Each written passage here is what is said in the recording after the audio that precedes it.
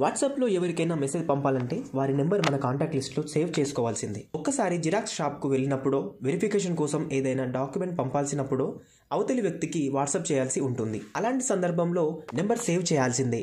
నిజానికి ఆ సమయంలో తప్ప వారి నెంబర్ మనకు పెద్దగా అవసరం ఉండదు. అయినా సేవ్ చేసుకోవడం వల్ల మన కాంటాక్ట్ లిస్ట్లో ఉండిపోతుంది. దీంతో అవసరం లేని నెంబర్లతో మన కాంటాక్ట్ లిస్ట్ నిండిపోతుంది. దీంతో పనిగట్టుకుని అవసరం లేని నెంబర్లను కాంటాక్ట్ జాబితా నుంచి డిలీట్ చేయాల్సి వస్తుంది. ఒకవేళ నెంబర్ సేవ్ చేసుకోకుండా వాట్సాప్ నుంచి పంపగలిగితే అదెలా సాధ్యమనేగా మీ సందేహం. అయితే ఈ చిన్న ట్రిక్ గురించి మీరు తప్పక తెలుసుకోవాల్సిందే. నెంబర్ సేవ్ చేసుకోకుండా వాట్సాప్ మెసేజ్ పంపేందుకు మీ మొబైల్లో ట్రూ కాలర్ యాప్ ఉండాలి. మీరు ఎవరికైతే వాట్సాప్ మెసేజ్ పంపాలనుకుంటున్నారో వారి నెంబర్ను మీ ఫోన్లో డయల్ చేయాలి. తర్వాత ట్రూ కాలర్ యాప్లోకి వెళ్ళి సదరు నెంబర్పై క్లిక్ చేసి కిందకు స్క్రోల్ చేస్తే వాట్సాప్ ఆప్షన్ కనిపిస్తుంది. దానిపై క్లిక్ చేస్తే ఆ number WhatsApp chat page open అవుతుంది. అక్కడి నుంచి మీరు వారికి మెసేజ్ చేయొచ్చు. అలా మీరు నెంబర్ సేవ్ చేసుకోకుండానే ఇతరులకు వాట్సాప్ మెసేజ్ పంపొచ్చు.